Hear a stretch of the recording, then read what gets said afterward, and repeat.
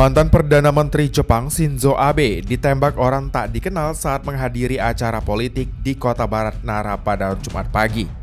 Mantan Perdana Menteri Jepang ini terlihat tidak sadarkan diri setelah terkena tembakan di bagian dada. Seorang pria diamankan di tempat kejadian yang merupakan pria muda atau setengah baya.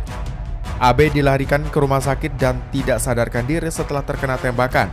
Petugas tempat yang melakukan penyelamatan mengatakan kemungkinan dia mengalami serangan jantung. Diketahui Jepang adalah negara dengan beberapa undang-undang senjata paling ketat. Di antara ekonomi terkemuka dan penembakan sangat jarang terjadi. Abe merupakan Perdana Menteri terlama Jepang sebelum dia mengundurkan diri pada tahun 2020 lalu.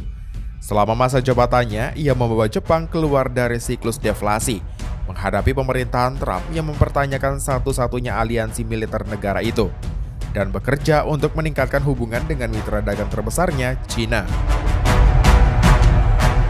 Muhammad GoTV News melaporkan.